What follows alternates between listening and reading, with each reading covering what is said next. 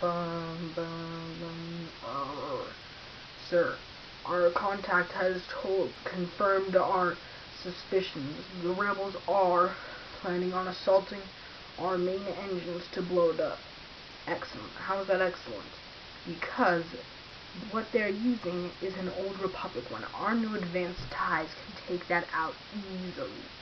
Well, what about their station that's going to jam our ties that you heard about? It's nothing. I've sent a little special thing for them. There.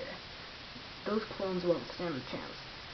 And once they're dead, it'll make an example to all remaining clones on what we are capable of. Aren't you even the least bit worried? I'm not worried. Okay, you remember the plan, right? Yep, I'm gonna fly in, circle the ship, not let them know my target is, then bomb it up. Good, you remembered. How could I forget? Okay, John is going to go there pretty soon to get into position. Okay. Okay. Okay, be careful. Careful's my middle name. Okay, I'm here. Oh my gosh, this thing is immense.